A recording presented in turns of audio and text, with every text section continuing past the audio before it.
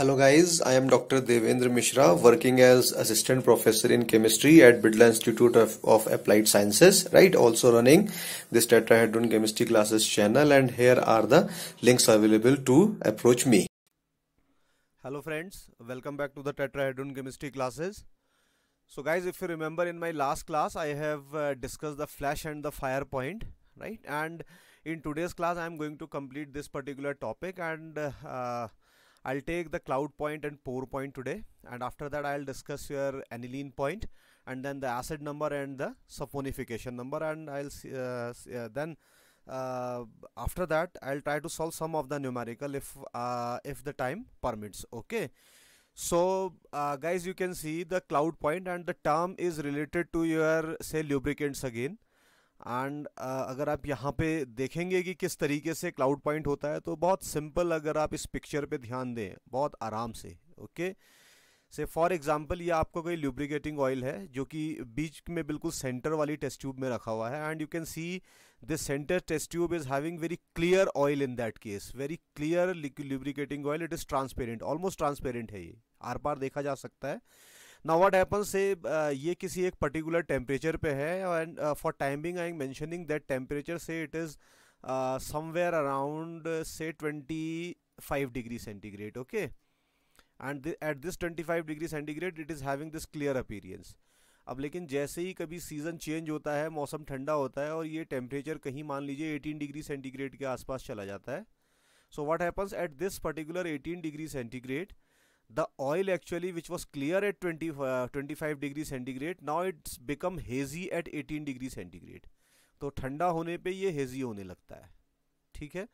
ये बिल्कुल आप उस तरीके से एग्ज़ाम्पल ले सकते हैं अगर कभी आपने ऑब्ज़र्व किया हो जैसे रिफाइंड ऑयल्स वगैरह होते हैं और बहुत जगह ठंडा होने लगे तो फिर वो हेजी अपीरियंस दिखाने लगते हैं okay so what is the reason for that see this oil actually uh, this lubricating oil or any kind of oil actually containing the several dissolved uh, things in it okay dissolved dissolved chemicals in it okay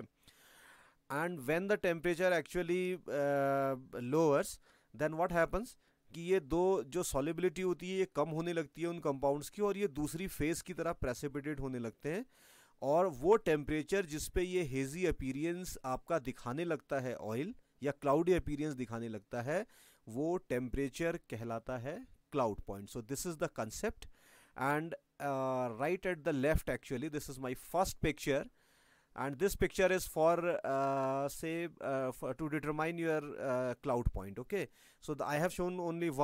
but market में बहुत सारे ऐसी equipments आजकल available हैं electronic भी हैं ये तो मैनुअल लग रहा है तो आराम से ये चीज़ें की जा सकती हैं. And at the extreme right of the slide you can see this particular picture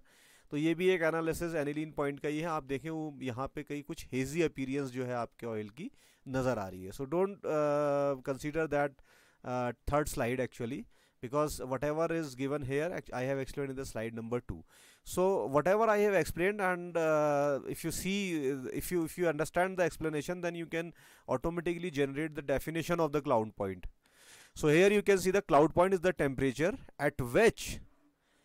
paraffin or the wax begins to separate from the solution when oil cooled to a lower temperature under prescribed condition okay okay तो क्या होता है किसी oil को prescribe condition पे ठंडा करते चलिए तो ऑयल में जो पैराफिन्स होते हैं you know the paraffins are word they are the alkanes paraffins are alkanes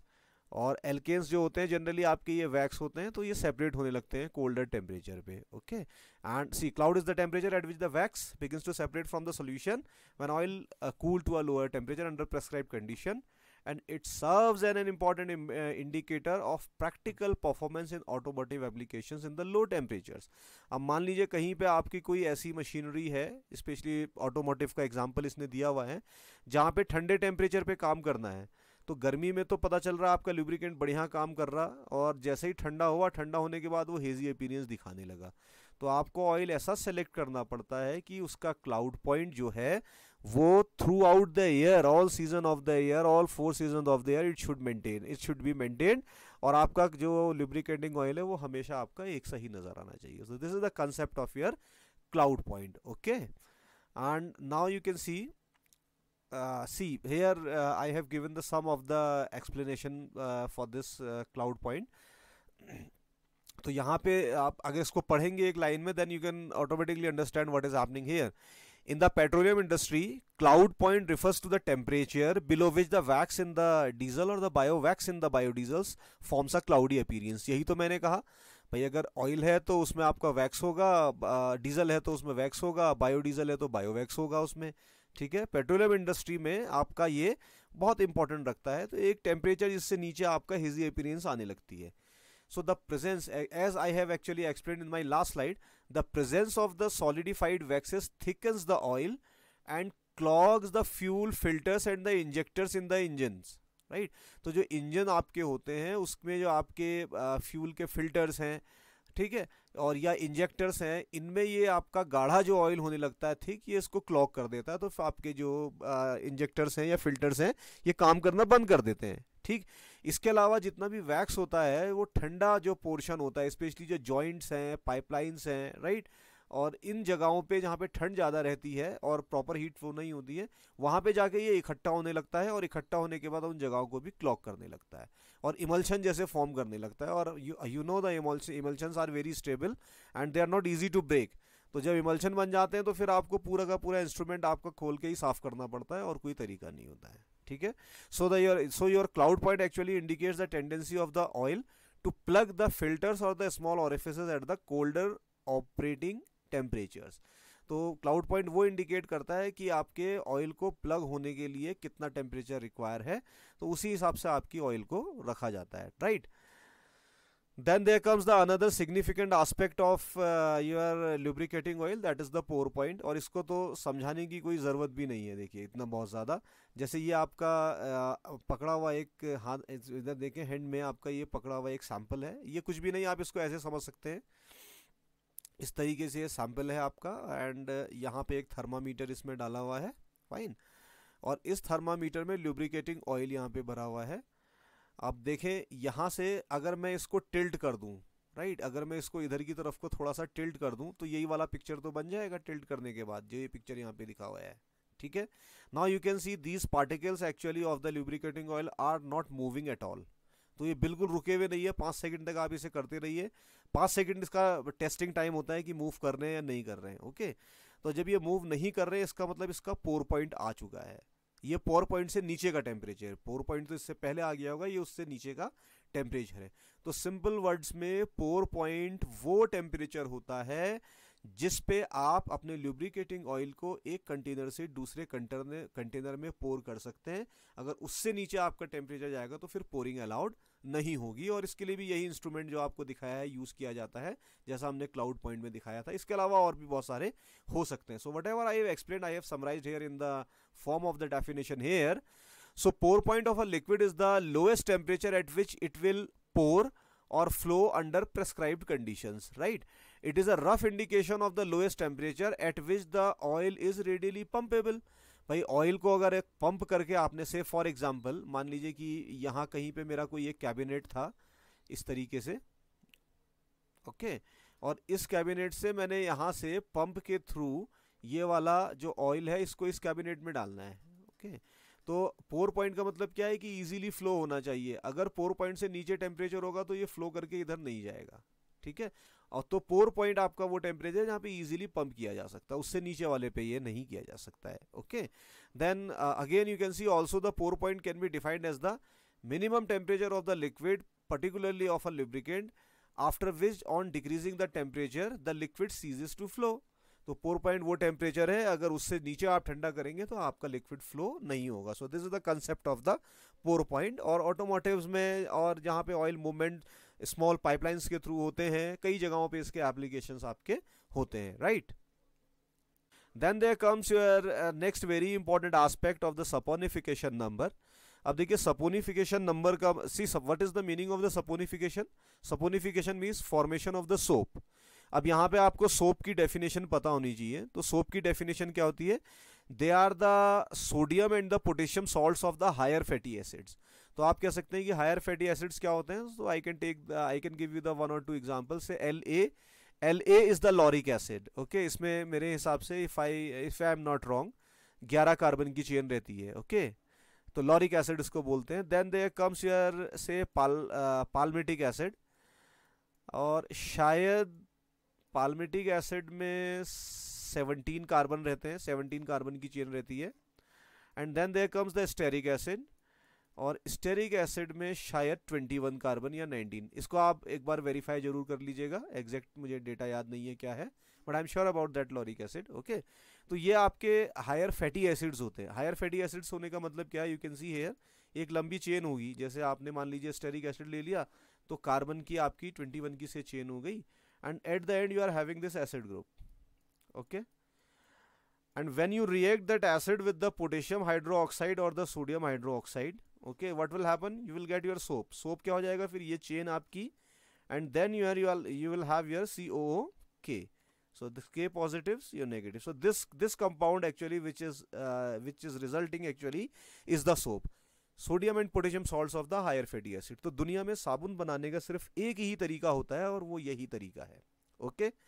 और बाकी साबुन की जो कॉस्ट बढ़ती है, वो उसमें परफ्यूम डाल दीजिए या एक्स्ट्रा कोई इंग्रेडिएंट्स डाल दीजिए एंटी बैक्टीरियल डाल दीजिए एंटीसेप्टिक डाल दीजिए उनसे कॉस्ट बढ़ती है otherwise there is only one method to prepare soap in the world okay so now what is this saponification number so now you have the little idea about the what is what is the saponification so saponification number is what तो जितना देखिए आपका uh, ये एक मान लीजिए ये आपका वन ग्राम ऑयल था या फैट था लुब्रिकेटिंग ऑयल ले लीजिए। देखिए ये आपका लुब्रिकेंट्स के लिए ही आपका नहीं है ये आपका फ़ूड इंडस्ट्री में भी यूज़ होता है। एसिड नंबर वगैरह सपोनिफिकेशन वगैरह नंबर वहाँ पर भी निकाले जाते हैं। मान लीजिए वन ग्राम ऑयल है तो इस वन ग्राम ऑयल को न्यूट्रलाइज करने के लिए, देखिए इसमें एच पॉजिटिव है और ये आपका ओ एच नेगेटिव है। तो अल्टीमेटली वाटर मॉलिक्यूल निकल रहा होगा so it's a neutralization reaction so इसको न्यूट्रलाइज करने के लिए जितना मिलीग्राम क्यू की रिक्वायरमेंट होगी, वो इस ऑयल का सपोनिफिकेशन नंबर कहलाएगा। मान लीजिए इस एक ग्राम ऑयल को आपका न्यूट्रलाइज करने के लिए हज़ार मिलीग्राम क्या लग गए? पोटेशियम हाइड्रोक्साइड लग गए। तो इसका सपोनिफिकेशन नंबर हज़ार मिलीग्राम हो जाएगा। दैट्स इट बस इतना ही आपने ध्यान में रखना है। ना you can see here in that case ये आपका एक ट्राइग्लिसराइड है। देखिए, एक आपका एस्टर लिंकेज ये, दूसरी एस्टर लिंकेज ये दूसरी तीसरी एस्टर लिंकेज ये ओके इनका रिएक्शन मैं पोटेशियम हाइड्रोक्साइड से करवा देता हूँ। तो मेरे को देखिए ये सोप मिल गया। ये सारे आपके सोप मिल गए आपके। और ये बाई प्रोडक्ट है जो कि ग्लिसरॉल है, इसके बहुत सारे एप्लीकेशन होते हैं, फिर इसको यूज़ कर लिया जाता है अलग अलग ठीक है? और ये एक इंपॉर्टेंट रिएक्शन इसलिए क्योंकि ये बाई प्रोडक्ट भी इसका काफ़ी इंपॉर्टेंट रहता है। Now what you can do see if you check the molecular weight of this potassium hydroxide so 39 क्या होता है? एटॉमिक नंबर है किसका? पोटेशियम का 16 एटॉमिक नंबर ऑक्सीजन का and then plus one and if you if you see it will add up to 56 okay? 56 मिल जाएगा। Now in the complete balance reaction, you are using 3 moles or the 3 equivalents of your KOH so this 56 should be multiplied by 3 और जब आप 56 को 3 से multiply करेंगे that it will become 168 gram okay अब क्योंकि जो भी रिज़ल्ट आता है, वो मिलीग्राम में आपने लेना है तो इसको फिर से आप थाउज़ेंड से मल्टीप्लाई कर दीजिए। और थाउज़ेंड से मल्टीप्लाई करेंगे so it will give you one hundred sixty eight thousand तो ये फैक्टर आपको पता रहना चाहिए इतना मिलीग्राम ये कहाँ से आया है ठीक है? तो ये हमने यहाँ पे यहाँ पे ये सब आपको सॉल्व करके भी दिखाया हुआ है। और अगर आपने सिंपल सा फॉर्मूला याद रखेंगे अगर आपने एसिड नंबर निकालना है तो बस ये 168,000 को आप सीधे सीधे जो भी ऑयल का वेट दिया गया है उससे डिवाइड कर लीजिए। ठीक है? ये बात आप ज़रूर ध्यान में रखेंगे। तो ये आ, सिर्फ़ ये फॉर्मूला याद रख लीजिए। सपोनिफिकेशन नंबर का 168,000 divided by the given weight of your oil or your fat okay तो यहाँ से आप इसको ज़रूर दे, देख सकते हैं। सो so, यहाँ पे आप देखिए here M grams of the oil or the fat require this much of KOH for saponification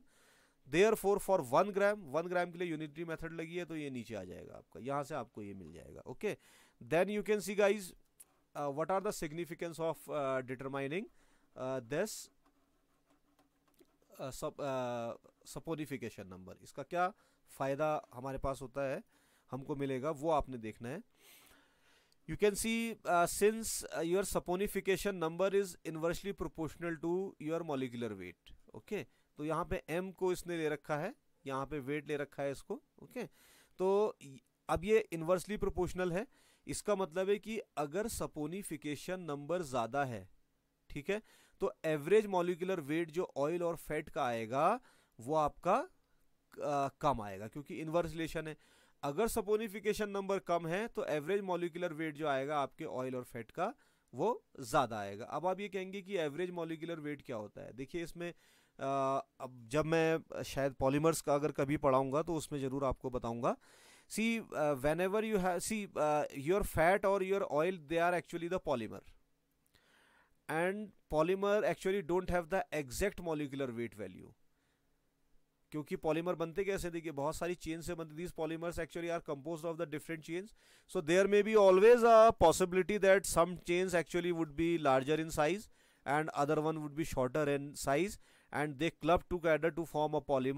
okay तो यहाँ पे वेट कुछ होता है, यहाँ पे वेट कुछ होता है। That's why they are not having the fix molecular weight that's why we take the average molecular weight in case of the polymers and your oil and fat are also the polymeric in nature so we can calculate the average molecular weight okay तो यहाँ से आप ज़रूर इसको ध्यान में रखेंगे। And again you see see it also indicates the average length of the carbon chain of the fatty acid components. ठीक है सपोनिफिकेशन नंबर कम होगा तो जो कार्बन की चेन लेंथ है वो बहुत बड़ी होगी क्योंकि मॉलिकुलर वेट ज़्यादा है तो कार्बन से ही तो बनना है। दैट्स uh, इसमें कोई ऐसा स्पेशल नहीं है। ये पहले आपको लॉजिक से पता चल जाएगा simple and then your saponification number may also gives an estimate of the non-fatty impurities present in the oil thus we can find the extent of adulteration in the oil अच्छा देखिए ये adulteration आप समझ लीजिए क्या होता है adulteration का मतलब होता है any uh, any change in the composition okay and you see uh, in your fat or in your oil if non-fatty material is there and it, then it will give the adulteration then it will give it will actually provide the adulteration to the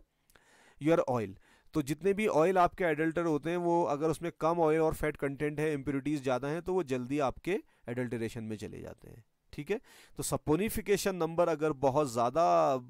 आपका होता है तो इससे ये भी पता चलता है कि ठीक है, इसमें आपका जो है फैटी कंटेंट कितना है और एडल्ट्रेशन के लिए फिर आप चेक कर प्योरिटी बेसिकली आप इसकी चेक कर सकते हैं। And the last point you can see here point number four as soap is formed in the product uh, in the product so saponification number also gives the actual amount of the alkali required. Okay ये भी हो चुका है। इस reaction के हिसाब से कितनी एल्कली चाहिए ये भी आपको पता चलता रहता है। तो ये कोई बहुत इंपॉर्टेंट पॉइंट नहीं है। तो पहला दूसरा तीसरा पॉइंट आप इसमें देख सकते हैं। लास्ट पॉइंट सिर्फ़ इतना कह रहा है क्योंकि प्रोडक्ट में बनना सपोनिफिकेशन नंबर है तो इससे आपको ये पता चलता है कि ट्राईग्लिसराइड से अगर सोप बनाना है तो इसमें कितनी एल्गली डालनी पड़ेगी रफली तो पहले ही डेटा आपके पास रहता ही है कि इसका सपोनिफिकेशन नंबर सैंपल का इतना है तो उसी हिसाब से आप पोटेशियम हाइड्रोक्साइड उसमें ऐड करते हैं। Okay this should be remembered so this is all about your saponification number okay guys the next parameter is actually aniline point and after that we will see the mixed aniline point okay guys so see whatever is written on the slide you forget about for time being and see what I am expl actually explaining to you because it is very important to understand the things uh, from the practical point of view okay? So say for example if you know the, uh, the name of this uh, particular point is the aniline point so you should know what is aniline okay? So since you are uh, btech student you all know you have you all have studied uh, chemistry in plus 2 as well as uh, you are also studying in engineering also right so whenever your benzene is having NH2 group substitution over there then this compound is known as the aniline okay this should be remembered guys okay and uh, one more thing you know uh, in aniline point what we will do actually uh, we will take the lubricating oil say for example uh, this is a test tube okay and in this test tube you have a certain sample of the lubricating oil मान लीजिए चलिए 50 M ले लेते हैं कोई problem नहीं है okay okay? Then what you can do in this solution right you will add another say 50 ml of aniline okay you will add the 50 ml of aniline so your total volume would be now the 100 ml that means this 100 ml would contain 50 ml of the aniline and 50 ml of your lubricating oil for which you are actually testing your aniline point ठीक है यहाँ तक तो कोई problem नहीं है now अब आप क्या करेंगे since see first of all uh, you should know one more thing you are actually the lubricating oil और any sample sample of oil they are generally contain the aromatic compounds okay क्या होता है इनके पास? इनके पास होता है aromatic compound so what is the purpose of adding aniline to the solution okay so aniline देखिए uh, एनिलीन को इसलिए इसमें डाला जा रहा है कि कितना एरोमेटिक कंटेंट आपके इस ल्यूब्रिकेटिंग ऑयल में है, वो आइडेंटिफाई करने के लिए डाला जा रहा है. Okay okay? तो अब जैसे ही इन दोनों को मिलाया जाएगा 50 एम और एनिलीन को so they will mix they will mix in any proportion I am not saying that कि 50 50 एम लिया तो पूरा का पूरा घुल जाएगा, ऐसा नहीं है। कुछ पार्ट इसमें ज़रूर आपका डिजोल्व हो जाएगा ओके okay? तो अब यहाँ से from the basics of the chemistry you should know the fundamental actually see the thumb rule which is applied everywhere when you actually see the solubility of the compounds and that thumb rule is what L DL. So what is the meaning of LDL? Like, dissolve, like. Okay. So what is the meaning of that like, dissolve, like? That means say if you have a particular solvent, I can write solvent in that manner. Okay. So this is solvent. Actually not looking like the solvent. So I'll write here. Say this is my solvent. Okay. And then this is my solute so what is the meaning of the like dissolve like अगर मैं इन दोनों को dissolve करना चाह रहा हूँ तो इन दोनों का नेचर एक सा होना चाहिए। For example if my solvent is polar solvent that is P S I am writing for polar solvent and my compound is ionic okay तभी आपस में दोनों सॉलेबल होंगे। आपको पता है ionic compound like sodium chloride it is having the electrostatic force of attraction between the positively charge sodium and the negatively charge chlorine and similarly solvent if you take the water then water is a polar solvent in which the oxygen carries the negative partial negative charge and the hydrogen carries partial positive charge okay so both the nature of both the solvent and the solute are same then only the solubility would occur, uh, would occur actually and if you have say non-polar compound अगर आपके पास organic compound है right non-polar compound generally organic compound होते हैं आपके जैसे alkene ले लीजिए आपका ना एल्केन आपके पैराफिन वैक्स होते हैं तो इसको अगर आप वाटर में डिजोल्व करना चाहेंगे तो नहीं घुलेगा because water is polar they are non polar so you should have the organic solvent for this one okay so you should remember this particular concept whenever you are trying to dissolve certain substance into the solution into particular solvent so their nature actually should be the same अगर nature same नहीं होंगे तो वो आपस में dissolve नहीं होंगे. So this is just a little information which I want to give you now say I am coming back to my aniline point okay now since you know the my aniline is the aromatic compound and i'm dissolving that aniline in the uh, lubricating oil okay so whatever the aromatic content would be there in the lubricating oil it will try to dissolve the aniline in that proportion जितना इसमें रहेगा उसी proportion में इसको dissolve करना शुरू होगा ठीक है तो हमने क्या किया 50 M L lubricating oil 50 M aniline मिला दिया and then will slowly and gradually heat that solution under control temperature ये बात ध्यान रखेंगे एक कंट्रोल टेम्परेचर में धीरे धीरे इसको आपका जो है हीट करेंगे और स्टिर भी करते रहेंगे। पूरा सिस्टम होता है, इसकी स्टिरिंग आप करते रहेंगे, लगातार सॉल्यूशन को हिलाते रहेंगे, एक मैकेनिकल स्टीरर होगा okay and after at a particular temperature this this aniline and your lubricating oil will make one phase तो ये एक फ़ेज़ बना देंगे। शुरू में तो ये दो फ़ेज़ होंगे। दो फ़ेज़ कैसे ऐसे मान लीजिए आपका कि ये मेरा लुब्रिकेटिंग ऑयल है, जो मैं वर्टिकल लाइन से दिखा देता हूँ। और से ये मेरा आपका एनिलीन है, जो मैं हॉरिजेंटल लाइन से दिखा देता हूँ। इनिशियली तो ये कंडीशन रहेगी, लेकिन the moment you you heat under control temperature that particular sample it will give you the one phase that mean your aniline would be completely mixed into the oil okay and see now what you will do now you will allowed to cool so I am I am writing minus heat okay सो पहले तो आप heat दे रहे हैं, दोबारा मैं minus heat कर दूँ। माइनस हीट का मतलब ठंडा कर रहा हूँ। That mean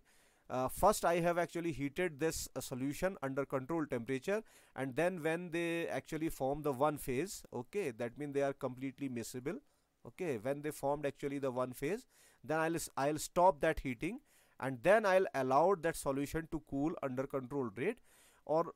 धीरे धीरे आपका ऐसा होगा कि फिर ये दोनों सेपरेट जो फेजेस ये जो फेजेस थी ये धीरे धीरे सेपरेट होने लगेंगी ओके एनिलीन अलग आ जाएगा ऑयल आपका अलग आ जाएगा। तो वो टेम्परेचर जिस पे ये फेजेस सेपरेट हो रही होती हैं that temperature is known as the aniline point this is very very important to note okay so this is your aniline point now what is the utility of determining the aniline point see aniline point is actually inversely proportional to the aromatic content see if if your oil is having the very high value of the aniline point that mean aromatic content is low so इसको कैसे interpret कर सकते थे कि interpretation बहुत आसान है okay so for example if your oil uh, say this particular oil is having very large content of the aromatic content so uh, at low temperature the aniline will dissolve in that particular solution because the proportion of these two substances, like substances are same, so if you try to mix and stir तो ये easily आपके dissolve होते रहेंगे। तो आपका यहाँ से क्यों? क्योंकि इसमें aromatic content ज़्यादा है। अब मान लीजिए कि आपने इसको हीट किया सॉरी जैसे आपने इसको मिक्स किया और स्टिर करने लगे धीरे धीरे ये नहीं घुल रहा है। डिजोल्व नहीं हो रहे हैं, ये एक फ़ेज़ नहीं बना रहे हैं। What is the meaning of that वो एक फ़ेज़ इसलिए नहीं बना रहे हैं क्योंकि ऑयल में एरोमेटिक कंटेंट कम है। अगर ज़्यादा होता तो तुरंत बनाते। तो एरोमेटिक कंटेंट कम है, आपका डिजोल्व नहीं हो रहा तो इसके लिए आप इसको हीट करेंगे। Because by providing the heat actually you are supplying the kinetic energy to the molecules and when they have the sufficient kinetic energy then the collision would become very very fast in the solution then automatically they will dissolve into each other तो high temperature पे घुल रहे हैं इसका मतलब कम आपके aromatic content को आप ज़बरदस्ती डिजोल्व करने की कोशिश कर रहे हैं so this is the significance higher the aniline point lower the aromatic content ये पता हो जाएगा हाँ एक ज़रूर है कि एनिलीन पॉइंट अगर ज़्यादा होगा तो फिर हाइड्रोकार्बन कंटेंट, जिसको पैराफीन, वैक्स या एल्केन कंटेंट कहते हैं, वो ज़्यादा होगा। तो this should be remembered this is very very important to note that you are aniline point so I am writing A P for the aniline point it is directly proportional to the wax content और the hydrocarbon content और the paraffin content of the oil and it is inversely proportional to the aromatic content of the oil तो ये आपको ज़रूर पता रहना चाहिए और ऐसा क्यों होता है वो मैंने आपको सीधे सीधे अभी अभी बता दिया है okay so you focus only on the aromat aniline point and the aromatic content so this is the concept of your aniline point okay so this is something very very important so, in that case, you, so, now again, i, what i can do, i can read that particular definition, okay? Aniline point is defined as the temperature at which the equal volumes of the aniline and the diesel oil not necessarily always the diesel oil you may take the any oil okay any lubricating oil or you may take any solvent generally experiment जब किया जाता है तो ये benzene के साथ किया जाता है एनिलीन और बेंजीन का प्रोटोकॉल एक्सपेरिमेंट में होता है ये ठीक है so uh, the temperature at which the equal volumes of the aniline and the lubricating oil are completely miscible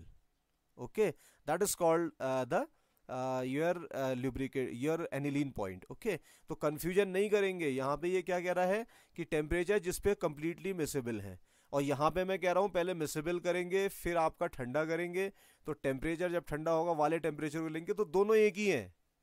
कि जो टेम्परेचर पे आपका ये मिसिबल हुए होंगे और जब आप पूरा गर्म करने के बाद ठंडा करेंगे, जब ये सेपरेट होंगी फेजेस तो वो आपके उसी टेम्परेचर पे सेपरेट होती हैं। इसको आप ज़रूर ध्यान में रखेंगे। तो ये वाला टेम्परेचर नोट नहीं करना है। Practical this is the practical aspect guys see whatever is whatever the definition is written on the text book it is good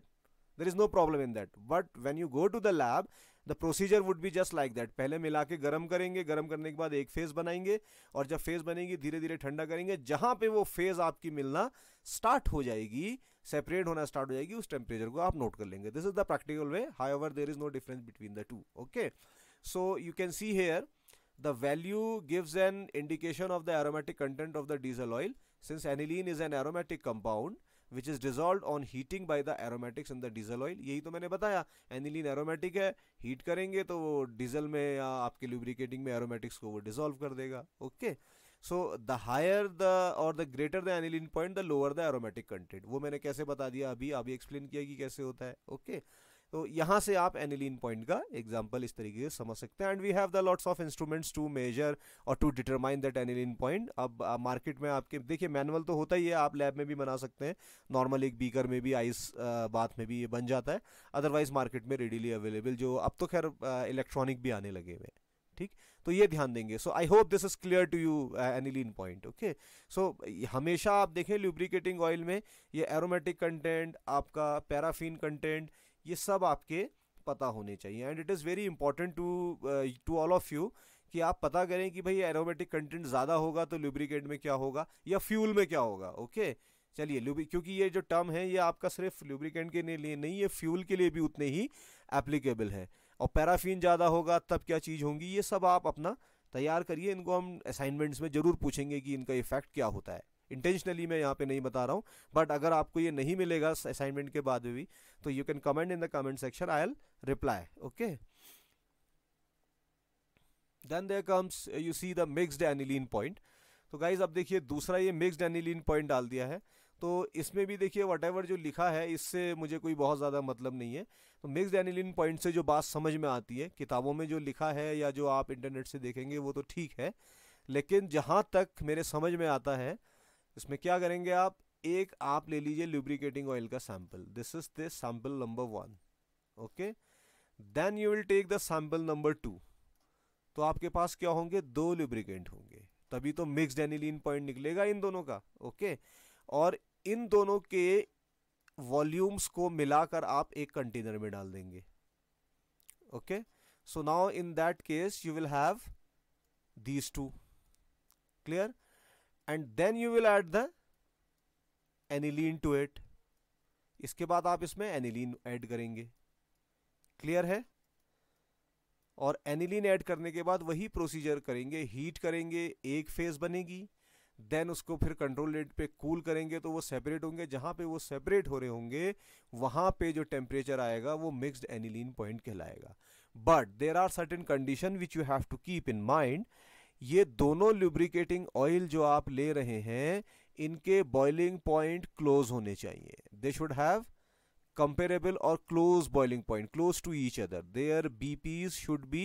close to each other okay अगर ये एक दूसरे के पास होंगे, तभी आप ये कर पाएँगे। बहुत ज़्यादा डिफरेंस अगर होगा तो नहीं कर पाएँगे। पहली चीज़, दूसरी चीज़ the lubricate one and lubricate two must be soluble in each other these two condition you will always remember and sometimes guys इनको चेक करने के लिए जैसे मैंने वहाँ बताया बेंजीन के साथ करते हैं यहाँ पे हेप्टेन भी डाल देते हैं। तो आप मिक्सचर के साथ भी कर सकते हैं। When you are taking the aniline point of a mixture then simply it is known as the mixed aniline point okay? So uh, what is written here you can see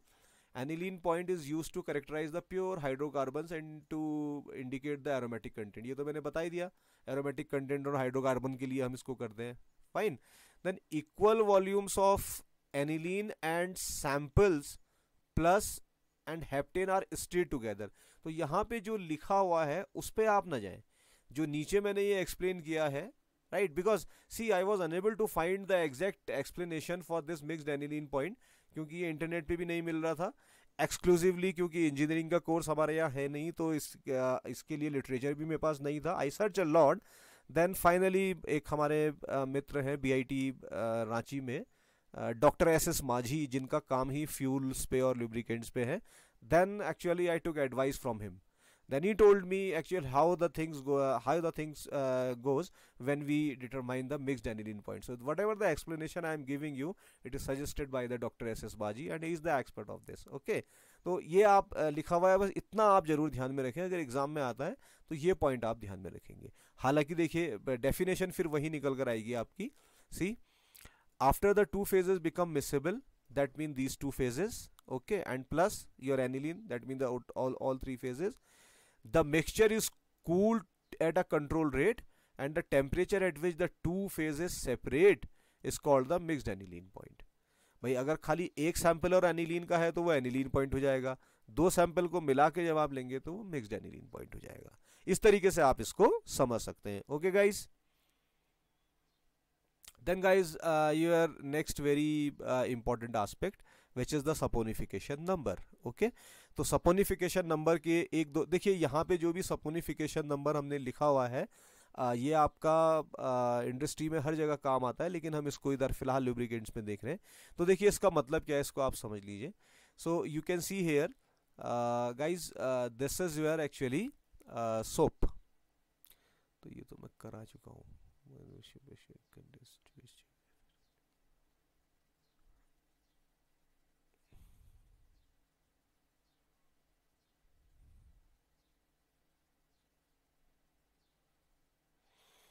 And lastly guys uh, what we can do we can see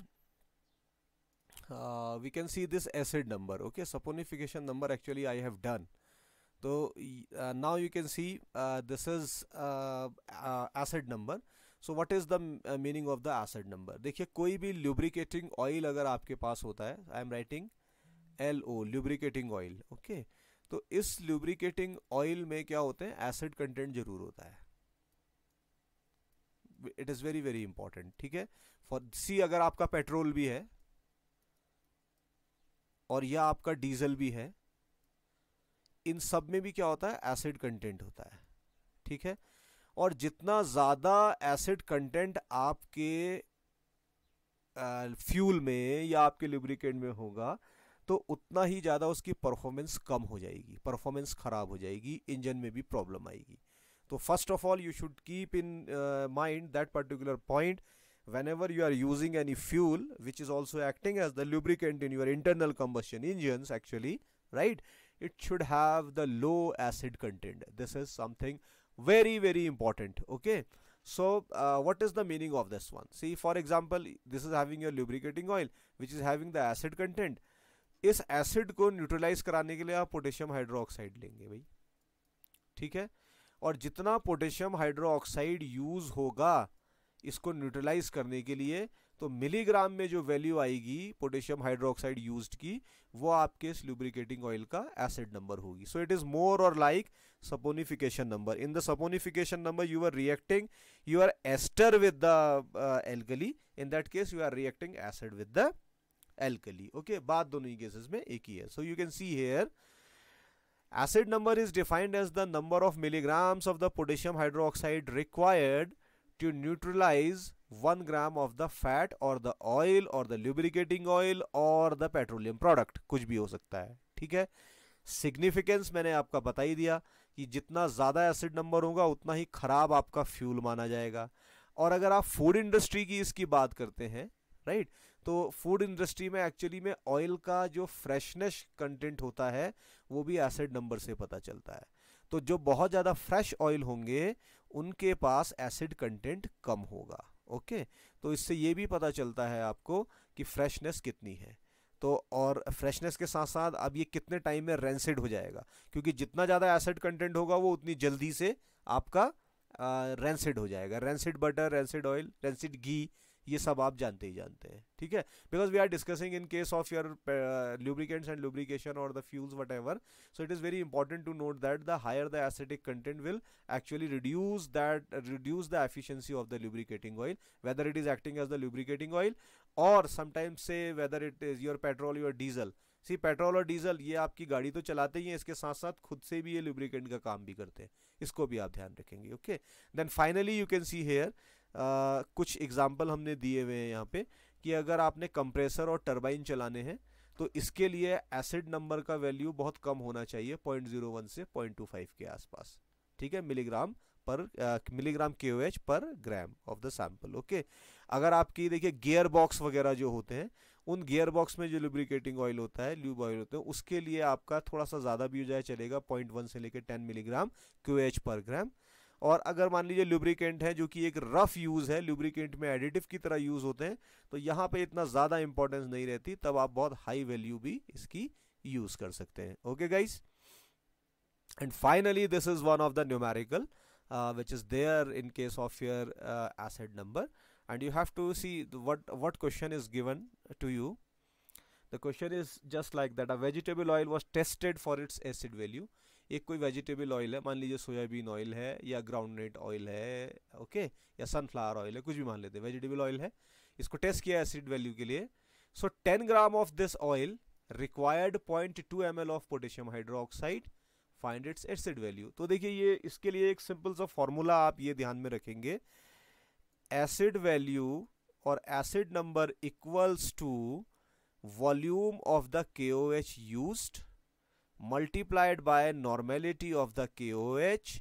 and multiplied by the 56 which is the molecular weight of the potassium hydroxide divided by the weight of the oil okay ये आपको पता होना चाहिए। So so, इस question में सीधे सीधे data put कर देना है आपने। Volume of K it is given point two M L so you will write point two M L so I am checking it then there is a multiplication sign and then you will find the normality normality is also given it is 0.02 it is given in the question then you will put the 0.02 here okay and 56 you know it is the molecular weight of the KOH okay and 10 is the uh, actually the uh, gram weight of the oil which is given here okay solve कर लीजिए इन सबको मिलाकर तो two two four milligram of K आ जाएगा per gram of oil तो acid value क्योंकि इसकी पॉइंट वन से कम है ठीक है तो आराम से point one milligram per KG oil से भी per per per gram of oil से भी आप देखें काफ़ी कम आ रही है पॉइंट वन से भी। तो ये वैल्यू आपका ल्यूब्रिकेशन के लिए बहुत सुटेबल है। तो अगर आप पीछे देखें स्लाइड को, यहाँ पर तो लुब्रिकेंट्स के लिए तो देखिए कितनी भी हो सकती है ना ये 20 से लेके यहाँ पे आप देखें लिखा हुआ है 20 से लेके 200 तक कुछ भी हो सकता है। ठीक है so this is all about your acid number saponification number aniline point cloud point pore point so this completes your chapter okay and go through the lectures find your textbook right and uh, uh, try to solve the assignment which actually i have given you in the google classroom okay guys thank you thank you very much